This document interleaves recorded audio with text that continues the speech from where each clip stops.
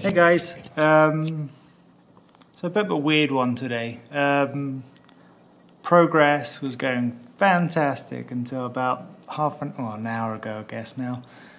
Um, I've got a gigabyte laptop and I got a smart update software that tells you what drivers and uh, what BIOS firmware you need to upgrade to.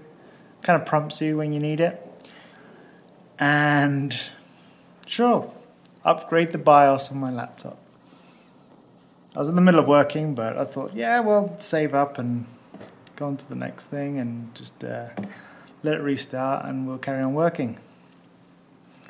So that's not going to be possible because uh, I've just fritzed the uh, BIOS.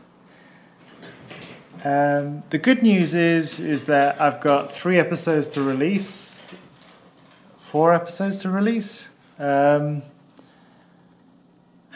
which I'm going to be doing uh, when I get onto a computer like the one right behind me, to to release the ones I've got done. Um, the the other good news is is that I have a dog come to visit me. And beyond that, I've got also, um, I'm able to buy a BIOS chip to replace the one on my laptop. Um, so, with any luck, I should be able to get um, up and running again by the time I get to the US. I'm going to order it online and get it shipped to somewhere in the US because Mexican Post is not trustworthy. Anywho, and that's what I'm going to do. That's my plan. But kind of very, it, you know, it seems to be one obstacle after another after another. Um, and I have to say that the biggest problems I've always had on these trips is always the technology. Um, the simplest things never break, you know. They might be inefficient, but they um, they never seem to break, or you can always adapt them to make them work. Um, electronics seem to be just a nightmare. I mean, I was I was counting my lucky stars just the other day. I was thinking, you know, it's uncanny. My laptop I took through Africa, I cracked the screen. I think about about halfway through the trip but I was still able to use some of the screen real estate, so I was able to like kind of move my things across. And then by the time I was in Namibia, I have no idea what happened. This was back in Windows 2000. Maybe it was XP. Maybe 2000. I don't know. This is a.